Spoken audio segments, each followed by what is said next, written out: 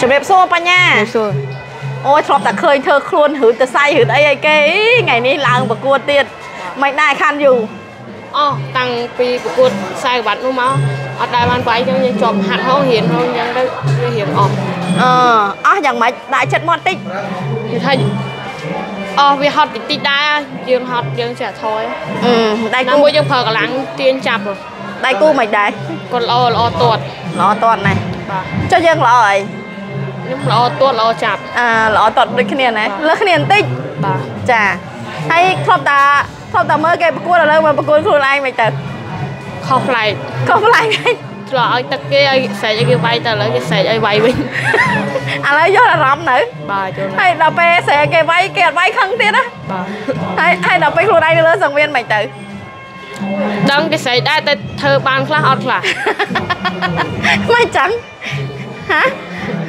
វល់វិញវល់ពេកហ៎បាទអើយចឹងអឺជប់ខឹងអ្នកនៅលើសង្វៀនណាបាទអឺហ្នឹងហើយហើយអឺពេលដែលយើងបាកងចឹងណាមានឱកាសរៀនច្រើនអត់អើមានឱកាសហាត់ច្រើនអត់ច្រើនច្រើនហើយខែមួយចូលវិញខែមួយបានចូលទៅវិញហើយចឹងអឺមានឈ្មោះប្រកួតទៀតអត់អត់អត់ទេបានតែមួយហ្នឹងបើបងអូនម៉ែន4គួត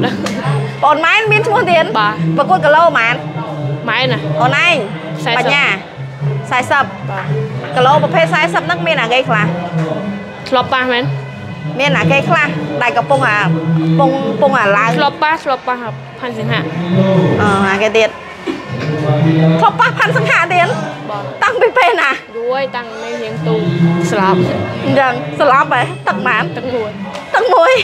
បាទគាត់ល្អគាត់ចូលមកវាយកែងធ្ងន់ធ្ងន់មកអឺមកជំនួសគេបែរណា